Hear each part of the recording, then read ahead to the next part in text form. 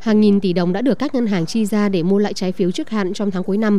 Đồng loạt các ngân hàng như LP Bank, OCB, VIB, Vietcombank v.v. đã thực hiện hoạt động này.